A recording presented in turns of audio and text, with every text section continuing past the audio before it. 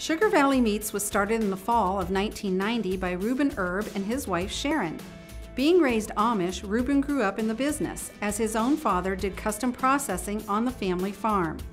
When realizing that there was a need in the community for a locally owned meat market, Reuben purchased land from the family farm and began this well-known butcher shop. Watching it grow over the years, the building itself was expanded again in 2013, including a new storefront, a new smokehouse, and expanded cooler and warehouse space. Reuben is proud to have his family working alongside him for the past 23 years and works hard to make sure his customers receive quality meat at competitive prices.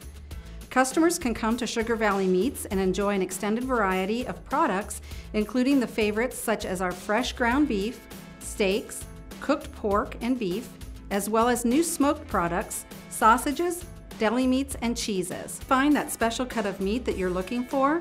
Be sure to ask our staff and we'll do our best to meet your needs. Stop by and visit the meat market in the country where the local people shop.